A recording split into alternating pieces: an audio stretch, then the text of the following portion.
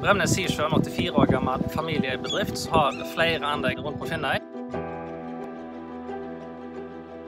En av de store verdiskaperne her i øysamfunnet er med oss som generalsponsorer. Altså, her er kontrakten, Bjørnar.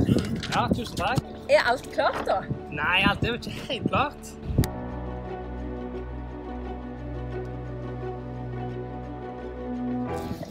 Jeg kan ikke signere på tom mage. Salma burger.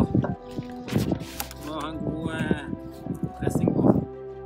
Vi er opptatt av å skape trygge, gode og spennende arbeidsplasser for våre ansatte.